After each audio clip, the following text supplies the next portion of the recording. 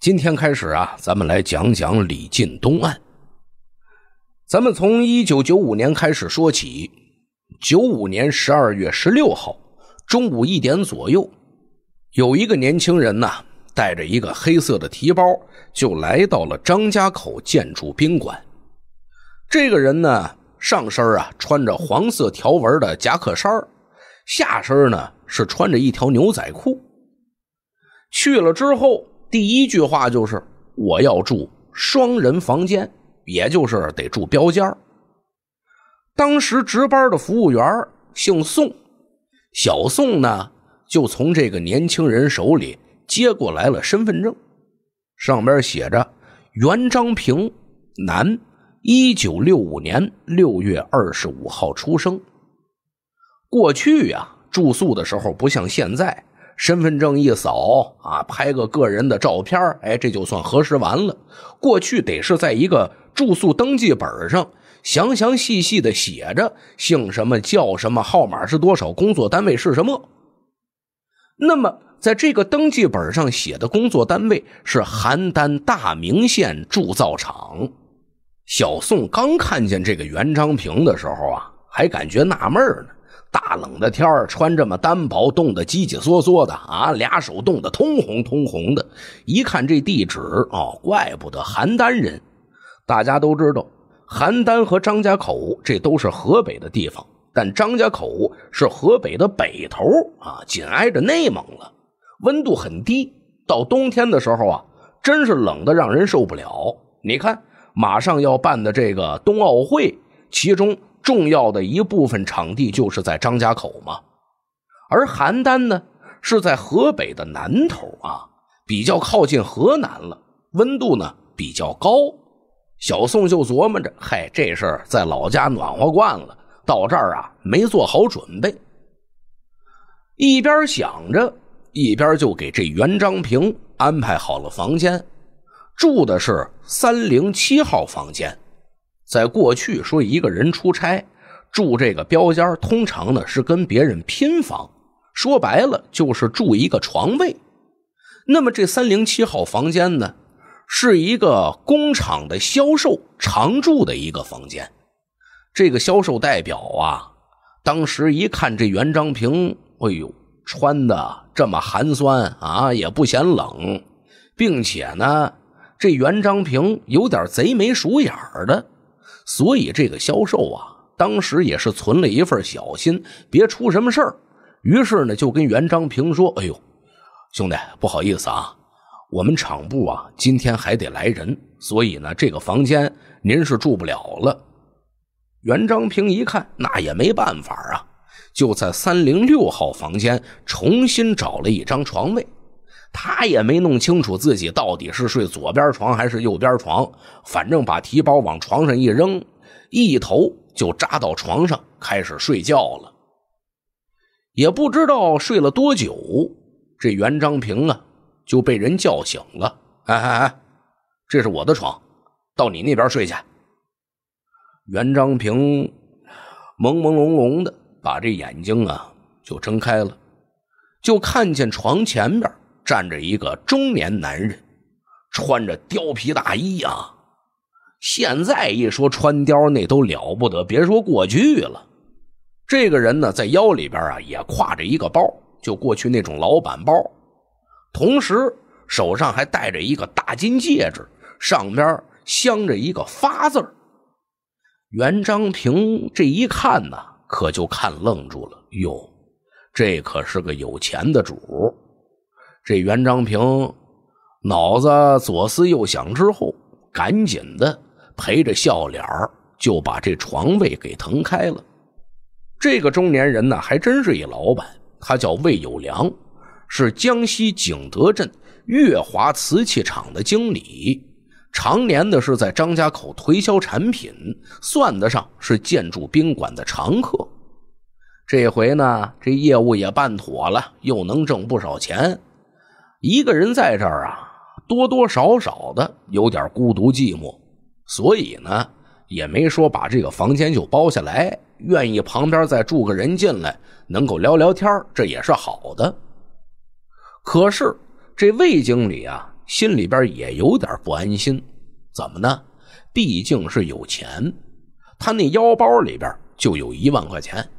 把这袁章平撵到他自己那张床位上去之后，这魏经理呢就出来了，找到了服务员，把这一万块钱呢就掏了出来，取出来了九千，就存进柜台了。同时还跟这服务员说呢：“我屋住进去那人看着不地道，满脸无赖相。”这时候啊，服务员就说了：“哎呦，魏大哥，要不给您换个单间魏经理呢，倒也无所谓。嗨，钱都存你这儿，剩下包里啊也没几个钱了，有什么好偷的呀？魏经理不知道的是，就在他们在这交涉的时候，袁章平已经出去从一家商店买回来了一把斧头，准备对他下狠手了。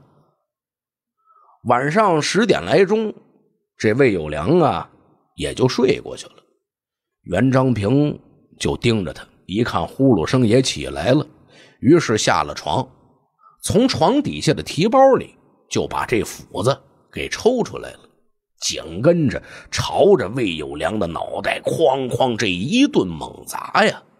砸的时候怕有响动，还专门把魏有良的头用毯子给盖住了。这时候就见血呀，就从那毯子边上可就流出来了。这个袁章平真是灭绝人性，一不做二不休啊！砍完之后又砍一阵随后把毯子一撩开，见这魏有良已经是死透了，脑浆子都砍出来了，脑袋呢就耷拉在床沿底下。于是把房间的灯打开。在卫生间里边把这斧子冲洗干净了，扔在床下，随后把魏有良手上的戒指就给撸下来了，然后呢，把这魏有良的皮包一打开，嘿，这老小子之前鼓鼓囊囊不挺多钱吗？怎么就还剩这点啊？甭管多少吧，他呢把这钱拿着就走，一共是八百块钱。除此之外，衣架上还挂着魏有良。那件貂皮大衣呢？那可是宝贝。把这大衣一卷，东西往兜里这么一揣，就闪出了宾馆的大门。十七号早上八点来钟，服务员呢得照例去打扫卫生。这一推门，一看见这场面，哦喽一声，可就叫出来了。随后啊，赶紧的拨打了电话，报警了。因为这张家口呢，平时社会治安呢也还算不错，发生这样的恶性案件，对于公安来说也是震惊无比。考虑到社会影响，从市公安局局长到市区各刑警队的刑警，都是悄悄的从宾馆后门进入现场的。现场啊，除了那把斧头之外，没有任何的可疑物证。经过询问服务员，服务员说了，这个犯罪嫌疑人略微带点邯郸的口音。现场就进行了案情分析会，在分析会上就认定这凶手性格残暴，很有可能是一个在逃犯，肯定是有前科的。于是呢，警方就做出了部署，火车站、汽车站，还有通往市郊的各条要道，都派警员进行布控。在宾馆呢，继续深入调查，同时向河北全省发出紧急协查通报。桥东刑警大队的副大队长李景山李队，刚刚在凌晨呢，押解着另外一个案犯回到了张家口，随后上午十点来钟，还没来得及休息呢，又领命而去，带着人呢就赶到了大名县。大名县公安局长亲自迎候了侦缉小组，他们呢去了之后也没过多的寒暄，马不停蹄，迅速的从十几家铸造厂里排查出了袁章平的情况。袁章平已经改行了，做木匠了，也换名了，叫武章平，落户在周庄，出去半个多月了，始终啊还没回家呢。既然是木匠。那肯定会用斧子呀，并且作案时间与袁章平的行踪是完全吻合的。于是，侦缉小组的成员也顾不上疲劳了，连夜赶到周庄设下埋伏。这一等可就等了一天一夜。到了第二天快傍晚的时候，领路的村支书啊，才紧张的说了一声：“快看，那那是袁章平，他回来了。”刑警们一听，立马精神一振，瞪大了眼睛，盯住了慢慢走近的那个人影。上边穿着夹克衫，背后背着一个布袋，布袋里边从轮廓上就能看出来有斧头，有锯弓。其中有一个刑警叫李百林，噌楞一下就跳了出去，一把就把这袁章平给摁住了。随后啊，把这袁章平就带进了村委会，带进了一个办公室里，这就是临时审讯的地点。这个袁章平呢，回答刑警讯问的时候，哎，倒是挺平静。他说呀：“我两年前。”有一回去邯郸，在长途汽车上，我身份证让人给偷走了。我为什么不叫袁章平，叫武章平呢？因为我当了赘婿了啊，我入赘了，倒插门了，所以不姓袁了，姓武了。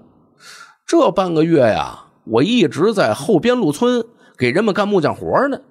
要是你们不相信的话，你们去村子里边问问，半个村子的人都能够给我作证。从回答上来说，天衣无缝。侦缉小组赶紧派人赶到了后边路村，了解详情。这村民们呢都说是啊，这武章平是在我们村干木匠活了，很多人都看见了呀。随后呢，他们又把武章平的录音放在电话筒旁边，就拨通了张家口建筑宾馆的电话。让这服务员小宋来辨别一下口音一样不一样。小宋一听，不，这不是凶手的口音。于是侦缉组赶紧向指挥部进行了详细的汇报。就在这时候，令人震惊的消息又传来了。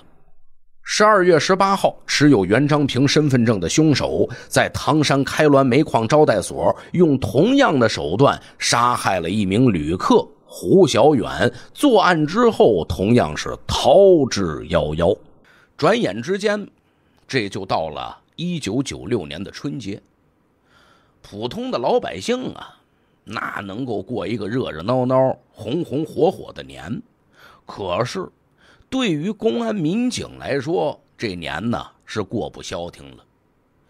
全张家口市组织了上百个联防队，对铁路、公路沿线都严密的查控，对所有大大小小的宾馆、酒店、旅馆、饭店，也都是地毯式的搜索。可是依然没有发现任何可疑的踪迹。照理说。公安民警下这么大的力气，这凶手你应该老实点了吧？他可没有。一九九六年三月十九号晚上，在宣化汇都饭店，又有一个旅客被杀害了，同样还是财物被抢夺一空。公安民警去了这么一查，哎，这回啊，用的不是袁章平的身份证了，显示。跟这个被害旅客住同一个房间的叫杨春风，那就去杨春风的老家查去吧。立刻派人前往黑龙江省伊春市查证，结果到了之后，人这杨春风好好的。杨春风说了：“哎呀，我也是之前把身份证给弄丢了，让人给偷了。”经过分析，认为这起案件的作案手法与桥东建筑宾馆未有良案。是同一个人所为的，与其他城市发生的案件也基本上是一模一样。这一下子可是人心惶惶啊！啊，外地再来的这些旅客啊，一提到这事儿，心里边都害怕。各处宾馆、旅馆的那些住宿人员都走了，在这儿生意谈得成，谈不成，这倒无所谓，咱得赶紧跑啊，别回头把命给搭上啊！九六年四月十二号，河北省公安厅在涿州召开袁章平系列杀人抢劫并案侦查协调会。时任副厅长李立在会上就提出来说：“这是河北省的第一大案。”这次会议结束之后，如果再发生同类案件，要追究当地公安机关领导的责任。当时张家口市主管刑侦的副局长开完会之后，也带回来了一份系列案的名单。一九九五年十二月十六号，持有袁章平身份证的凶手在张家口市桥东建筑宾馆三零六房间将三十七岁的魏有良杀害。一九九五年十二月十八号。持有袁昌平身份证的凶手，在唐山市开滦矿务局招待所五零五房间将三十四岁的胡小远杀害。一九九六年一月十一号，持有袁昌平身份证的凶手在河南省安阳市新大地宾馆将周毅杀害。一九九六年一月二十五号，凶手持有杨春风的身份证，在河北省邢台市天街宾馆五零八房间将四十岁的陈木星杀害。一九九六年一月二十八号，持有袁章平身份证的凶手在石家庄市商贸招待所二零六房间将二十六岁的齐志杀害。一九九九年三月十九号，持有杨春风身份证的凶手在张家口市宣化汇都饭店六幺二房间将二十二岁的白月剑杀害。一九九六年四月一号，持有杨春风身份证的凶手在河南省新乡市九州宾馆五幺七房间将于月定杀害。提起新乡九州宾馆呢，岔开一嘴，我突然想到，我曾经去新乡参加婚礼的时候，貌似是住过这个酒店。咱们再说回案子啊，这前前后后一共有七个被害人。公安机关第一时间布下了一张天罗地网，公安机关的各个领导、各个口的民警，没白天没黑夜的在街道、在宾馆、饭店，在所有罪犯可能藏身的场所布置防范措施，进行抽查检验。犯罪分子的画像也迅速的绘制并且复印出来，展示给全区的宾馆、旅馆的服务台的人员，并且。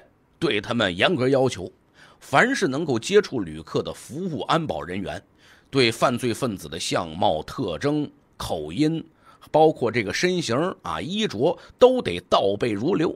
你看见一眼，你就能反应过来，他就是凶手，这才行。报警电话不是幺幺零了，而是时任刑警大队的大队长王洪信王队的手机号。全天二十四小时开机，只要响铃，必须接听电话。随着这大网张开，终于呀，凶手是露出尾巴了。经过对各个分区县所有宾馆招待所的排查，发现持有袁章平身份证的这个凶手啊，曾经在九五年十二月六号到九号住在桥西区医药招待所。建筑宾馆凶杀案发的前一天，也就是十二月十五号，凶手呢又在桥西区汇宾饭店露过面。中间的七天时间出现了断层了，不知道他在哪儿住的。这个凶手每回住宿，这都是有所目的。那么他肯定不会住在车站呐，住在这个山野乡村呢。既然如此，这七天的时间，他能到什么地方藏身呢？凶手第一次作案之后，三月十九号又回到了张家口宣化作案，之后又在山西、河南、山东制造了新的血案，中间呢三次路过邯郸，又多次往返张家口，这又说明什么问题呢？所有的刑警们都在围绕着罪犯的行踪路线做出自己的推断，可以看到。犯罪分子是以邯郸和张家口为轴线的，向东西两侧流窜作案。邯郸到张家口两个点拉一条直线，这就是他的中心线，并且他略带邯郸口音，对邯郸区县呢都比较熟悉。穿的呢并不洋气啊，应该是邯郸附近哪个村子里面的人。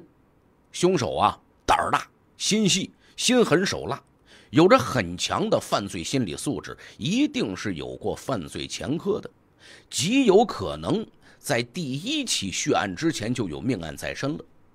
犯罪分子在张家口附近频频作案，说明罪犯与张家口有着某种必然的联系。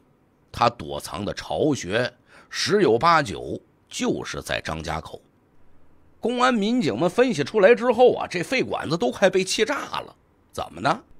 这个凶手不仅是在张家口犯下惊天血案，还就在眼皮子底下藏起来了。这对于公安人员来说，这是什么呀？这叫奇耻大辱！犯罪分子啊，还偏要跟公安干警来个迷魂阵。九六年四月十六号，在山西长治市大酒店，这凶手又将同房间的三十四岁的钱建涛杀死。四月十八号，又到了大同市飞天宾馆，将二十七岁的林学文杀死。五月五号，到了山东济南市泉城宾馆，将吕继刚杀死。这三起案件用的都是杨春风的身份证登记的酒店。专案指挥部这回是下了死命令了，查要不惜一切代价的彻底的清查。于是啊，搜索的范围迅速的扩大。因为杀人手法非常的专业，所以呢，退伍兵。也在侦查范围之内，所有邯郸籍的转业复员的花名册上的人，一个一个的查；各区各县邯郸籍的转业复员兵的名单，一个一个的查。同时呢，还走访了所有的辖区里面的监狱，走访了一个个的作案现场，提取了所有被抢物品的清单，查阅了涉及案情分析的所有的资料案卷。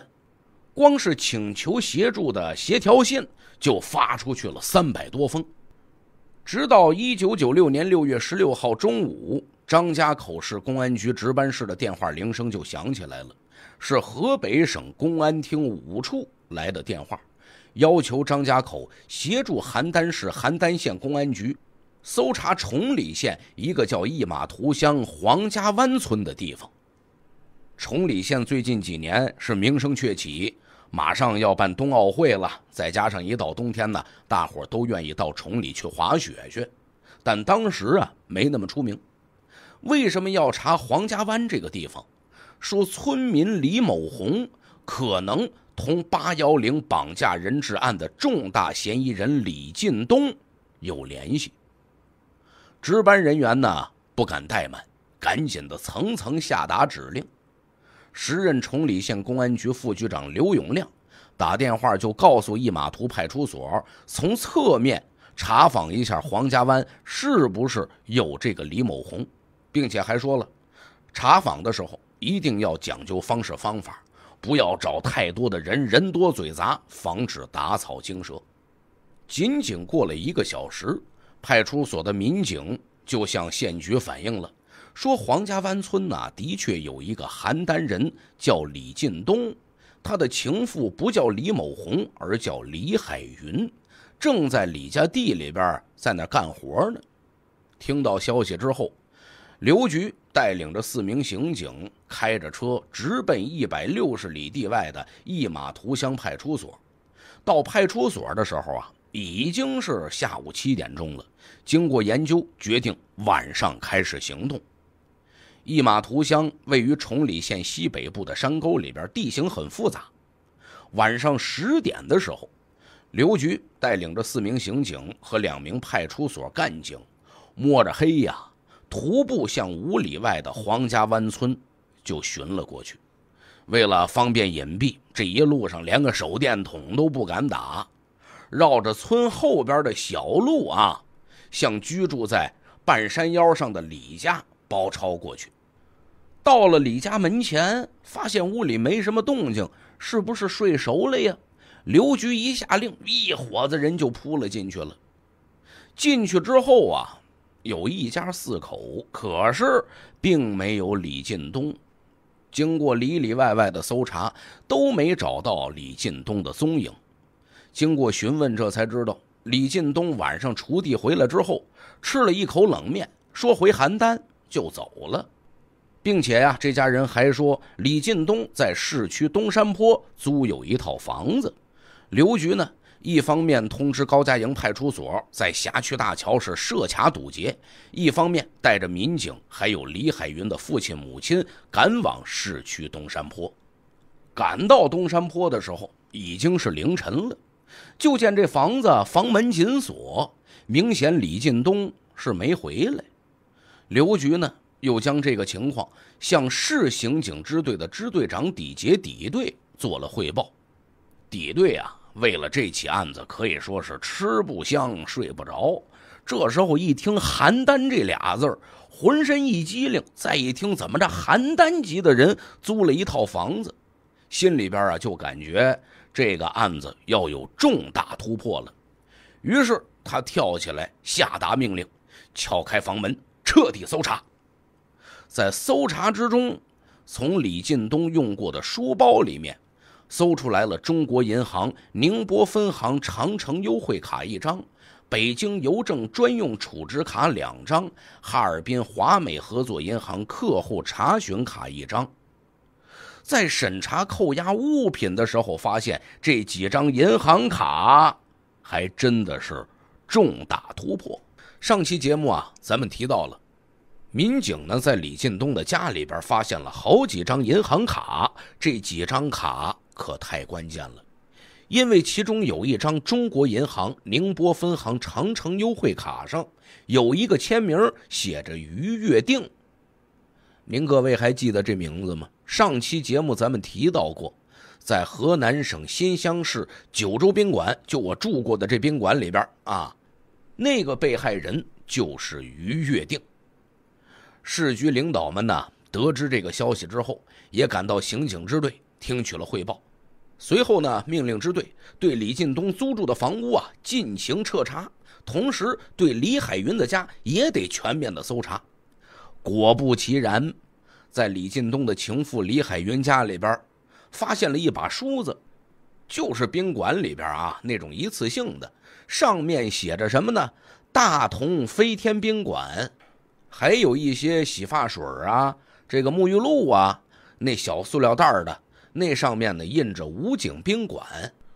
综合来分析，李进东。就是拿着袁章平和杨春风身份证，涉及四个省作案十一起的抢劫杀人凶手。当年六月十七号，警方就对李进东在张家口市东山坡的住房以及李海云家实行了全天候的监控。六月十八号，对李海云所有亲戚进行了布控，并且收审了李进东的情妇李海云。六月十八号晚上。相关的领导又召开了紧急会议，在这次紧急部署会上，通报了李进东的相貌特征、衣着特点，并且呢，特别强调了六条追捕查控的措施。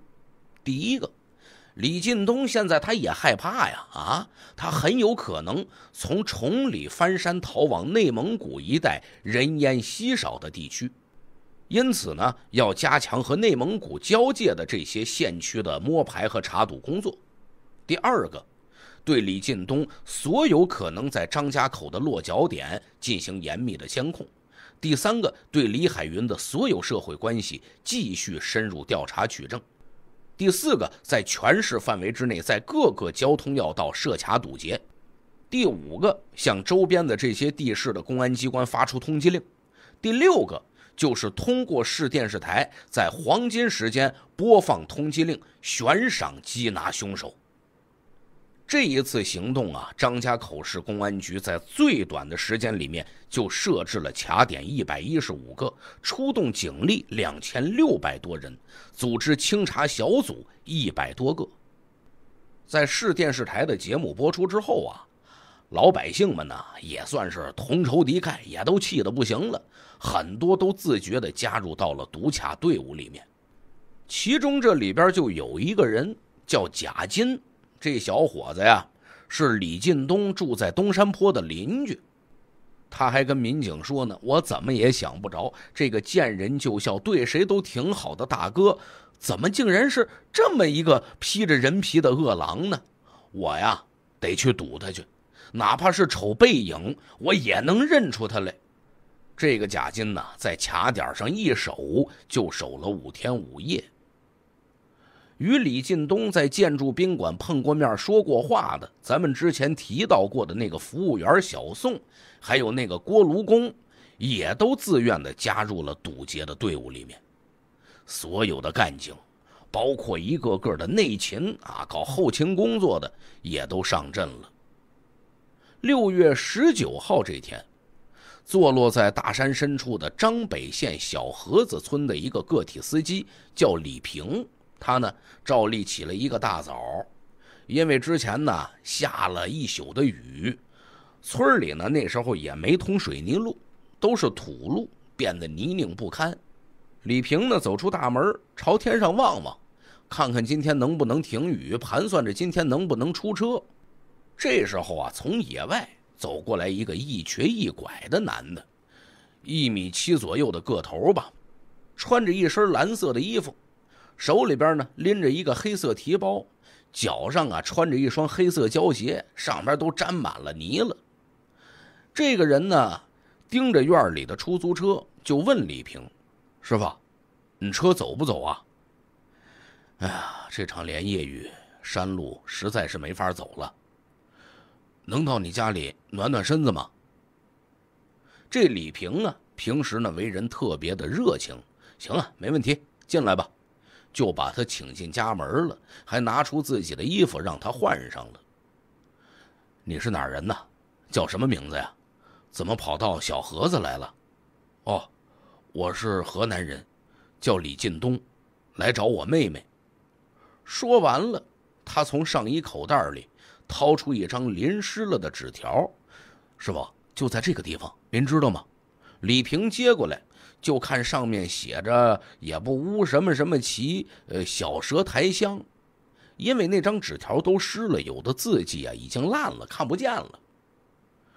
李平呢，看完之后摇了摇头：“哎呦，还真不认识。”李平看李建东啊，实在太累了，还给他做了饭。吃完饭之后，李建东呢倒头就睡，直到傍晚的时候才醒过来。李平就把李进东送到了小河子村村委会过夜去了。第二天一早，李平呢正好得送客人进县城，就把李进东一块捎带上了。十点钟左右吧，车在靠近县城的一个加油站加油的时候，还没等车停稳呢，李进东跳下车就走。李平还有点奇怪呢，哎，兄弟，你上哪儿去啊？李进东呢头也不回的说。我知道地址了，到包头去。李平啊，把这客人送完之后，又拉了一车客人往回走。这乘客们呢，就在那讨论说，公安局啊，正追捕一个逃犯呢。李平这时候可就动了心思了。哎呦，会不会是那个李进东啊？李进东啊，尽管告诉李平说自己叫李进东了，但李平呢，也没在意，也没记住。他起了疑心了，赶紧开车就回到村子，跳下车就跟村支书报告了。村支书呢，又逐渐的往上级汇报。这么着，最后消息传到了专案指挥部来。专案指挥部接到报告之后，立刻派人开车赶到了张北。经过查找，内蒙乌拉特前旗有一个小佘太乡，不是小佘台乡啊。就佘太君那个佘太呢，是太子的太。六月二十一号晚上九点二十六分，刑警支队副支队长樊立平带着追捕组的两位干警，就登上了开往包头的 T 七十七次列车。第二天下午一点四十，追捕小组啊就来到了乌拉特前旗公安局。公安局知道了追捕组的来意之后，马上呢也是指示。当地刑警队的副队长前往协助。晚上七点四十分，大伙呢就赶到了后山分局。后山分局主管刑侦的副局长是挺豪爽的一个大汉，一听说哦是系列杀人案的凶手，扯着嗓子就点出来了三名民警，由他带着协助追捕组直扑典力素泰村。为了不打草惊蛇。他们呢把车隐蔽在距离村子五里地左右的一个山洼里边。随后啊，当地那个副局长乔装打扮，穿着便衣进村子里边摸排情况。半个小时之后，这个副局长回来了。他呀很兴奋的就说：“按照当地的习惯，家家都有白酒，只有来了远方客人才会出去买啤酒。可下午吃晚饭的时候，有一人叫赵习明，他的媳妇儿啊偏偏从小卖部买了一瓶啤酒，所以据此推断，赵习明家一定有客人。不过是不是李进东，说不准。为了核实情况，他们呢也不敢开车去呀。”就步行着，就来到了村支书家。在聊天的过程之中，这支书的妻子就说：“今天傍晚的时候啊，有个小伙子说是张家口来的，打听赵西明的住处，我正好在场。同时，这支书的妻子还介绍了这个人的身高、长相。当时这追捕组一听，没别人了，肯定就是李进东。”于是啊，八个民警加上村支书，就向赵西明家就抄了过去。三个人把着门外六个人就要翻墙进院。翻墙的时候有响动，这户人家呢养着狗，这狗叫声可就起来了。屋子里边啊也听见动静了，把灯就拉着了。赵希明的妻子就问谁呀？门外的村支书赶紧就搭话：“哎呀，还听不出我的声音呐？听说你家里有羊毛要卖啊？人家连夜收购，急着走呢。在当地农村呢，夏天呢一般也不遮窗帘所以啊，民警们把屋里的布局看的是清清楚楚。炕头上是正在起身的赵其明夫妇，中间呢是两个睡着觉的孩子。”墙根那儿仰着脸儿睡着一个连当地支书都没见过的陌生人。赵希明的妻子开门的时候，民警们一拥而上，一下子就把李进东给摁在那儿了。你叫什么名字？李进东。咔嚓一下，手铐子可就铐在他手腕子上了。李进东，我们逮的就是你。随后。民警从李进东的身上搜出来了杨春风的身份证，还有其他的一些物证。把李进东抓回公安局之后进行审讯的时候，李进东啊，倒挺狡猾啊，一会儿不吃不喝的，一会儿弄个脑袋撞墙啊，寻死觅活的，就是不说实话。不过后来李进东还是承受不住审讯的压力，他呢也就交代了。李进东啊，是河北邯郸户村乡的农民。九三年的时候，因为敲诈罪被判了九个月的有期徒刑。服刑期间呢，也没把他改过来。出狱之后，借了十万块钱，想弄点生意，从邯郸往上海发运生铁和废钢料。可是他手里有了贷款，没有好好做买卖，反而进了大城市之后啊，什么叫赌博？什么叫洗浴？什么叫高级宾馆？什么叫嫖？是不是？因为这日子过得挺潇洒。等回到村子来的时候，大伙一看，哎呦，人靳东可不一样了啊！你看人家油光马滑的，就都给他说媒。这么着，找了个老婆，也有了孩子了。可他手里这十万块钱是越来越少啊。钱你是花完了，但是你这是借的，你得还呢。随后要债的人呢，总是到他家来，他就琢磨着：哎呦，这可怎么办啊？我现在在我们村这是光宗耀祖啊，我这要是不赚点横财，我这在村子里还怎么活呀？他呢，平时爱看点地摊上的什么破案小说啊啊，常常呢，哎，自己就把自己带入进角色里面，在脑子里面就上演 RPG 游戏了，知道吗？一九九五年八月十号，他呢瞄上了一个开出租车的个体司机。这司机呢姓王，他要从王师傅和王师傅家人手里边榨出大钱来。可是不管他怎么骗，对方就是不买账。在打斗过程之中，李进东掏出水果刀，把这王师傅就杀死了。他在离村子不远的玉米地里边啊，是藏了三天三夜，随后也没见警察要抓他呀。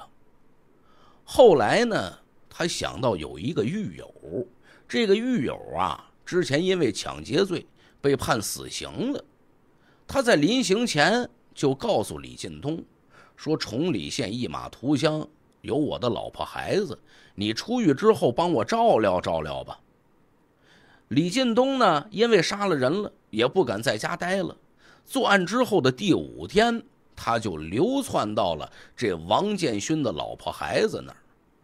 王建勋的老婆是谁？大伙儿挺熟悉，是李进东的情妇李海云。